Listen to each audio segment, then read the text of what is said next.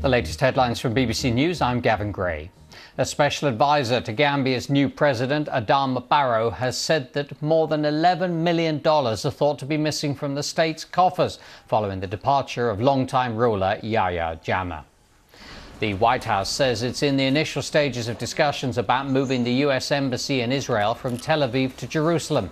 President Donald Trump and the Israeli Prime Minister Benjamin Netanyahu discussed by phone on Sunday the Palestinian peace process and Iran. And the mobile phone giant Samsung has said that faulty batteries and problems in the manufacturing process are behind some of its phones overheating and bursting into flames. The Galaxy Note 7 phone was permanently dropped in October last year after a number of handsets malfunctioned and in some cases burst into flames.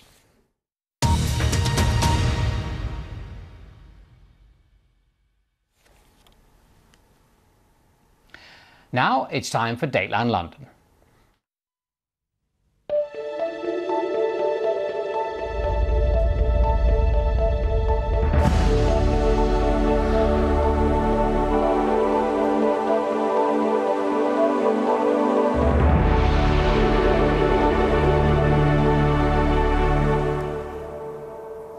Hello and welcome to Dateline London. Two stories dominate the week and are likely to dominate the year ahead too. The beginnings of the Trump presidency and the beginning of the end for Britain in the European Union. My guests today are John Fisher Burns of the New York Times, Thomas Kielinger of Die Welt, Polly Toynbee of The Guardian, and Dmitry Shishkin of BBC World Service.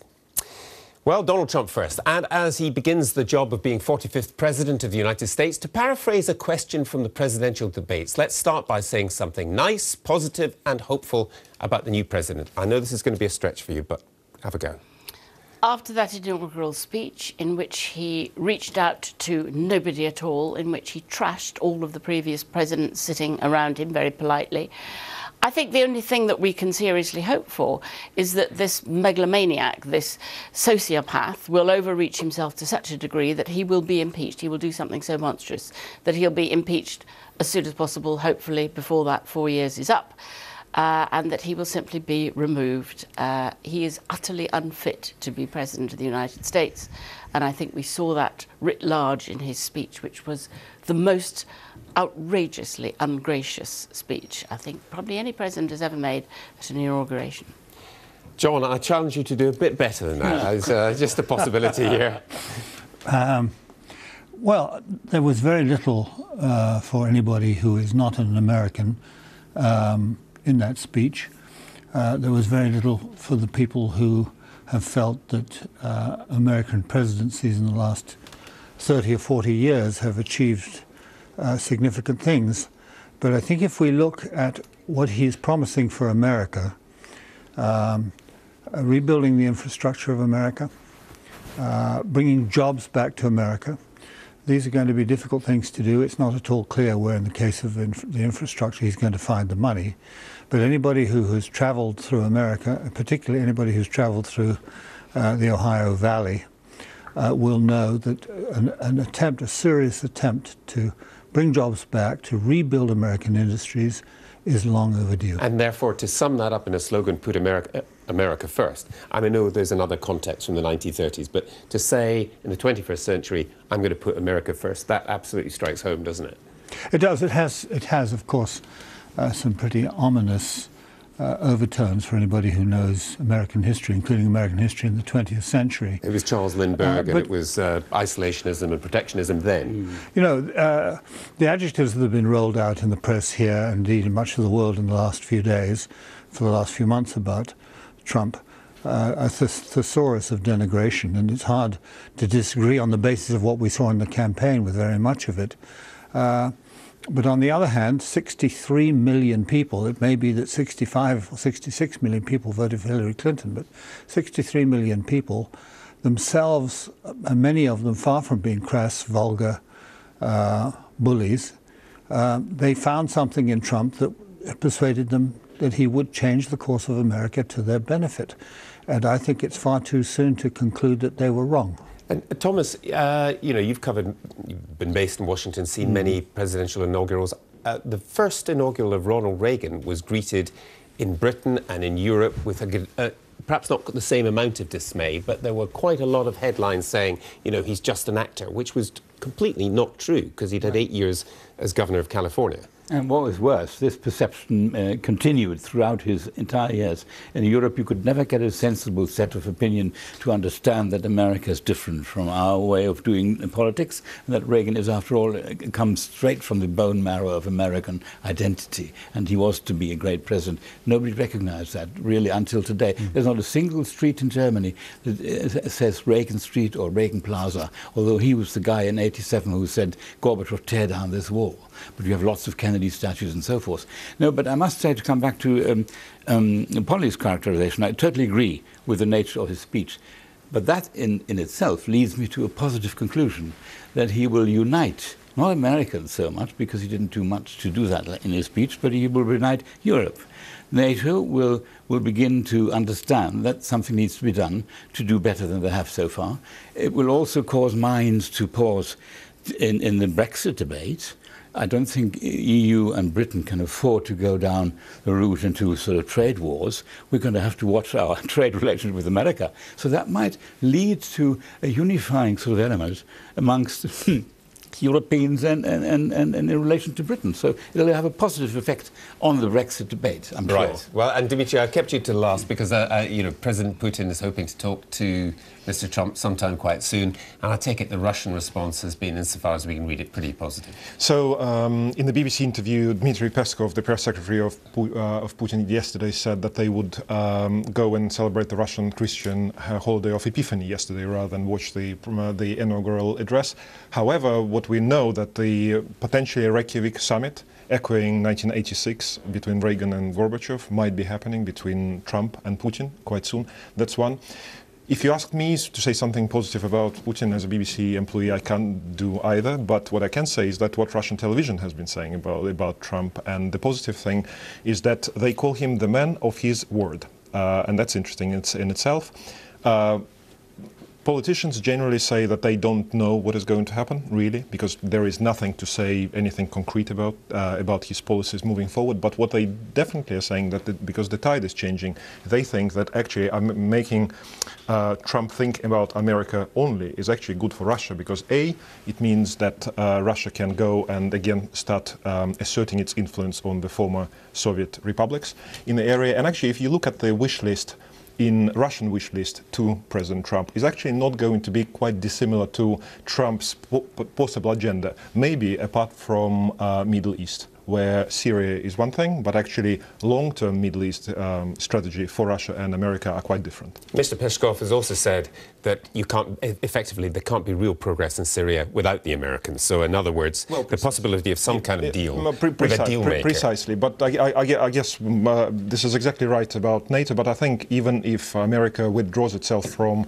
um, different types of bodies, from World Bank, IMF, UN, uh, this is all actually quite uh, positive, will be seen quite positive in I Moscow. I thought that one of the first casualties of Trump's uh, vision for America is his hope for improved relationships with Russia and mm. Putin, and the fact that he's appointed, for example, as Secretary of Defense, and he's not alone amongst the cabinet nominees, somebody who takes a much tougher line on Russia General is pretty indicative and that uh, it won't be very long before Mr. That, Trump that, and Mr. That, that Putin fall out. You, you, are, you are right, and that's why I think the uh, the the um, current uh, feeling in Moscow is the feeling of let's wait and see what will happen. Because actually, I wouldn't I wouldn't actually be surprised by, by hearing on the Russian television moving forward that Trump himself is our guy. He's good. He really means well, but he's surrounded by the establishment and the hawks of Washington doesn't won't allow him. Also, I think that what we see is two rather similar and perhaps quite impulsive characters.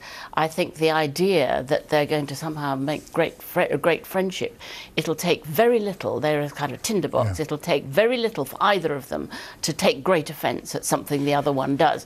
The possibility of, of friction seems to me much greater than the idea of this. Unless, of course, unless of course it is true he's totally in Putin's hands and that he has blackmail material and all of that. But leaving that aside, I, I, I, would agree, and I also would say that actually they are both people of uh, they're masters of photo opportunities, and actually for Putin to be seen uh, alone with Trump uh, in this kind of Russia-U.S. really important summit is a really important thing nothing. But it, the, interesting, this choreography. I mean, if there's a Reykjavik summit, Hmm. Reykjavik summit at the time was hailed as a disaster because it Yeah. didn't, didn't go anywhere. And then people within the Reagan administration said the president tried to give away all nuclear weapons. Hmm. Goodness me.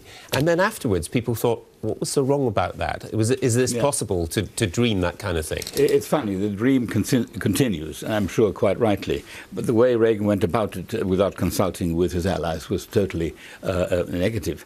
Mind you, Reagan started, uh, as far as Russia is concerned, with that very famous statement in his first press conference the day after he was inaugurated, when Sam Donaldson from ABC asked him, Mr. President, what do you think about the Soviet Union? He said, they lie, they cheat, and they want to conquer the world. So for, for Trump to give um, Putin so much of the benefit of the doubt already saying you can trust him when, when Russia has to re-earn its trust after all that happened recently with the, with the, the Olympic Games drug uh, scandals and, uh, and, and, and, and interfering in American debate. So to come out with this statement, you want to trust uh, Putin. He says, "See, I trust Putin as much as I trust Angela Merkel, which is a juxtaposition of outrageous proportions. Which didn't go down very well in Germany. It didn't go down very well in Germany, In, yeah. In terms of in terms of what you think he, you know, what he might do if he does spend a lot of money somehow domestically in rebuilding infrastructure, which just about anybody thinks needs to be rebuilt, and you did make the caveat: how is he going to do it? Where's the money going to come from? But also, Hmm. he's got to persuade Congress, and isn't one of the big it may not be as obvious as foreign policy to people sitting in Europe and around the world, but he has got to deal with people in Congress who are in the Republican Party, who have the levers of power, some of whom don't like him. Now, the question is do, will they be close to him because he's the president and they have to be seen to be, or will they look at the next election, which is in two years as far as they're concerned, and say, mm, not sure? Well, when I, the many years I spent in China, the Chinese government spokesman had a favorite um, iteration when asked a question they didn't want to answer, and that was, situation remains to be determined. and this certainly are so many uncertainties that we cannot know. But it seems to me one uh, plain point of friction is going to be money. Uh, on the one hand, Trump has talked about doing something about this gigantic uh, multi trillion dollar deficit.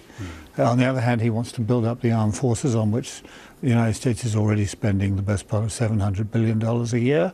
Now he wants to rebuild American. Uh, Where's the money going to come from? and it has to come via Congress.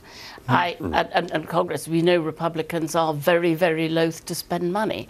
I think it's, I think it's going to be a lot of conflict there. I think it's, it, it's interesting how little he was scrutinised. I hmm. mean, what's been extraordinary about this election is that any normal election, a presidential candidate would have to answer that question. You're going to cut taxes. You're going to spend hugely on armed forces, huge amount of help on the infrastructure. You're going to save working class Rust Belt America.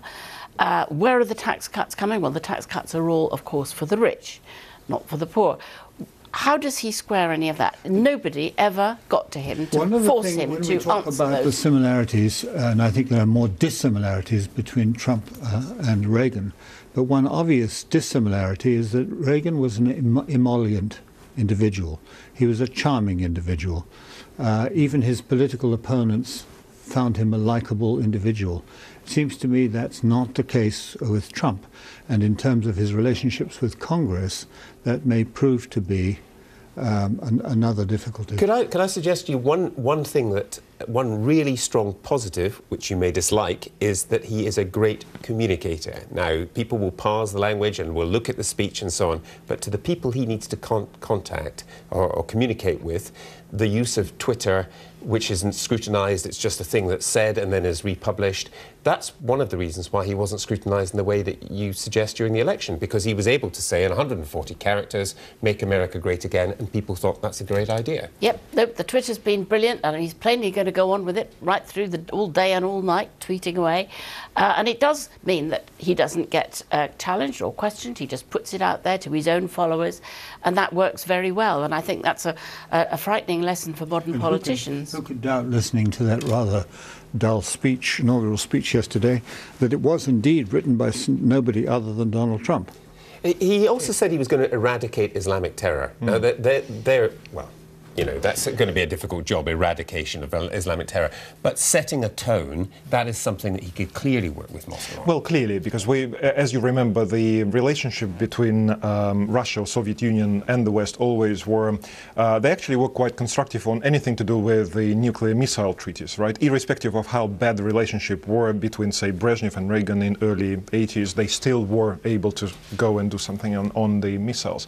Um, in terms of the um, uh, cooperation in between the secret services, then definitely post 9/11, when Putin was the first to call Bush, and he was actually quite proud of that, that he has suggested his help and everything. So this will, this definitely will continue. But um, let's just not make any mistakes about why, um, what what aims Putin is trying to achieve in the Middle East or anywhere else, and others. Because obviously, as I was referring to the wish list, wish list actually goes much uh, further than that. There is a question about Ukraine and Georgia not ever joining uh, NATO. But again, we probably were already in that situation where people, there is this urban legend that nobody quite knows whether it is true or not, whether Gorbachev was promised that not a single country in Europe would ever join NATO after the reunification of Germany. Not a lot of people actually, well, there is a mixed kind of uh, stories about whether this actually happened. So I think here it's uh, the same thing. I think I agree with you. If they hit it off, it will be really fabulous relationship between them two for the next whatever years uh, Trump might have. But um, it's hard. The if difference is that Putin has a plan, and I don't think Trump has a plan at all. Trump has tweets. Trump has uh, an emotive. I don't think he knows where Georgia but in a, in is. A post, in, know, a, in a post-truth, um, quite tired phrase now already. But in the in the world where people uh, believe in with their hearts and react with their hearts rather than their minds, we're talking about scrutiny. Uh, we as journalists are interested in that sort of thing. But I, I, guess societies in large around the world probably are going towards the fact. But, and the, the, there are some other obvious uh, problems. For instance, Iran hmm. is well, a, a, de facto ally in, uh, in, the Middle East with Russia, and Iran is one of the bogeymen that Donald Trump has, has uh, threatened so, to so uh, that, that, is that is definitely one of the questions they are not going to be comfortable talking about. That's one thing. Uh, I also would say that in the Middle East, if uh, America obviously sides with uh, Saudi Arabia, Russia clearly with Iran, so that that's the biggest uh, the, big, the, the biggest issue. When all is said and done, relationship with the rest of the world, the most important relationship is the White House relationship with Congress. No, no wonder we call Congress the other arm of government. And that is essential. He can't do anything unless he uh, strikes an emollient or, or intolerant relationship with Congress.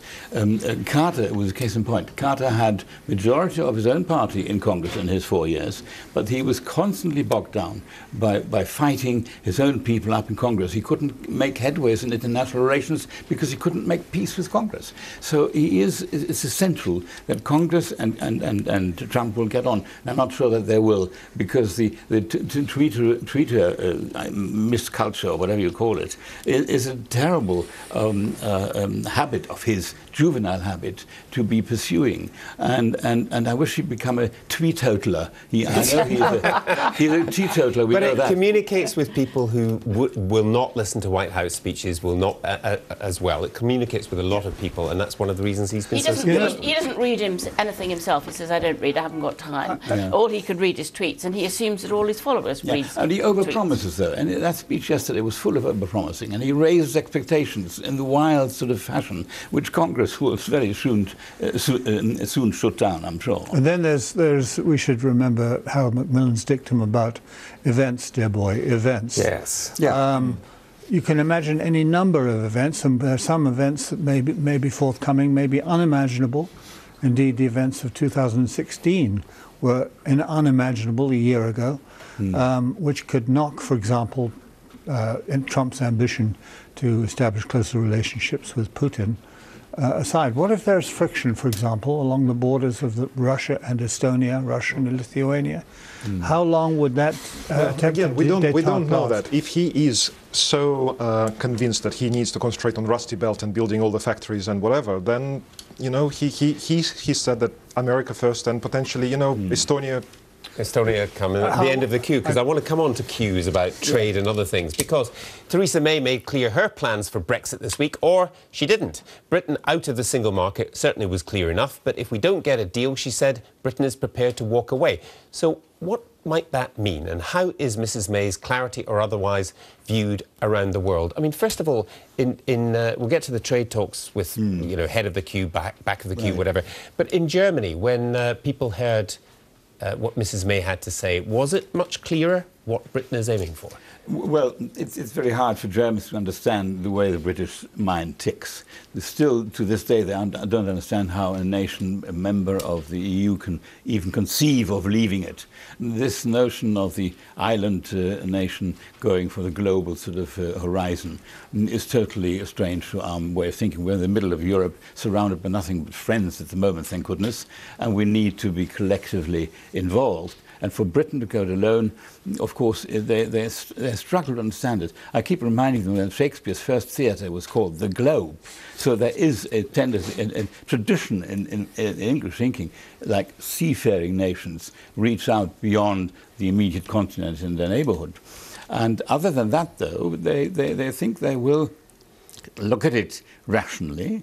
And the arrival of Trump on the scene, as I said before, gives me hope the two sides, the EU and, and Britain, will come together at a working, workable sort of solution. There's no uh, um, advantage to be gained from going into a trade war sort of uh, mindset uh, between uh, the EU and Great Britain. Uh, and while, while you have to be careful not to make it too easy for Britain to leave it, because that would uh, um, bring up copycat mentalities in other European nations who might say, okay, we can also leave it and get so that's, that, that's, that's probably is a, again, unofficial hope in the, mm. in, from within Kremlin, is that's basically starting an avalanche for the same yeah. um, the, the, same trends in other countries. Well, Geert Wilders, uh, Marine Le Pen, well, precisely, uh, yes. Alternative for Deutschland, other, other yeah, countries yeah. But have also, their also, you know that actually relationship between European Union and European Union and Russia were always subject to this axis of south and north.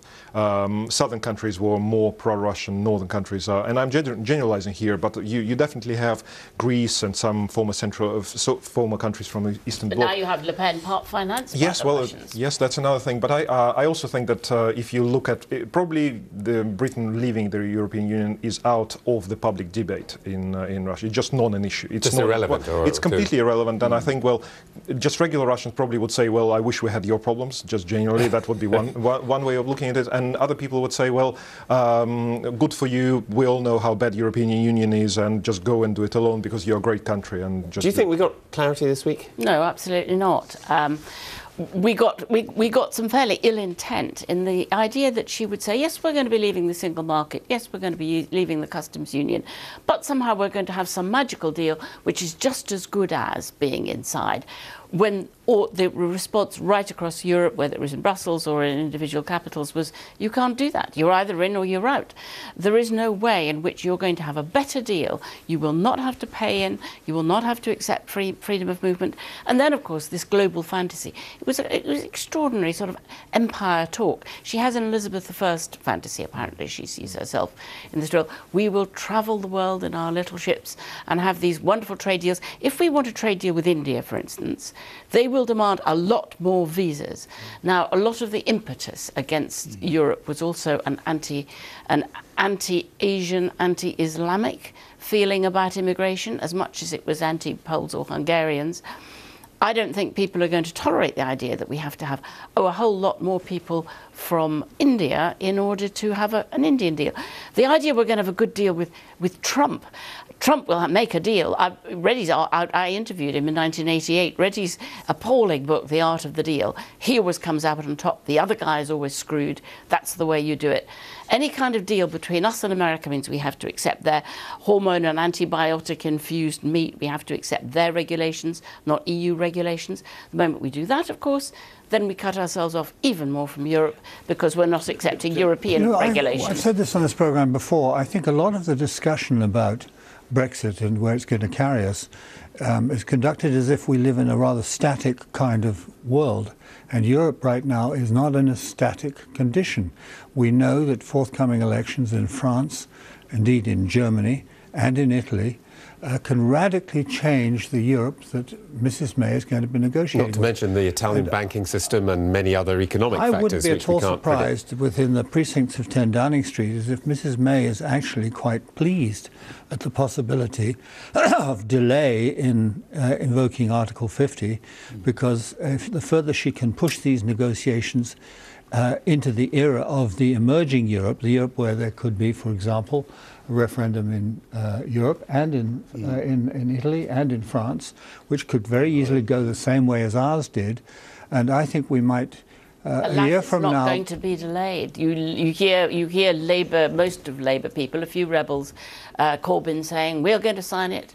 Uh, the Lib Dems won't, but uh, she'll get it through, I'm afraid. On a point of clarity, um, uh, Polly, I, I, with due respect, I, I was, I felt it was clear in one aspect. She is willing to go for brinkmanship with Europe. She has a way of taking each other's sides to ransom as well. If you don't agree with me, we have another way of becoming a different country. But that's a reasonable negotiating tactic. It isn't reasonable? All right. Except it's such a terrible prospect. She wants us to be uh, Singapore. She wants us to be, uh, you know, a, a- a bargain basement, lowest possible tax. We would You be cutting off our battle. own Yeah. nose to spite our face if we did that. Yeah. Well, Go ahead, uh, Thomas. No, no, it's, it's, I, I agree, and and and and the uh, and the impossibility of her suggestion, of course, strikes you immediately because there are so many squares to circles to square, as it were. One thing is uh, where's the money? We talked about money in, in, in, in the Trump case. Uh, where, where does she get the money to do all the social reforms that she's promised? And just But, you know, uh, if we, I, yeah, I, th- I think that the UK goes into these negotiations with quite a few advantages, uh, to cite only one. Uh, how many BMWs are sold in this Hmm. country every year? 265,000, I think. Uh, so, where is German industry, the motor industry, going to be on this issue? They certainly don't want to drive the UK into some sort of high tariff isolation.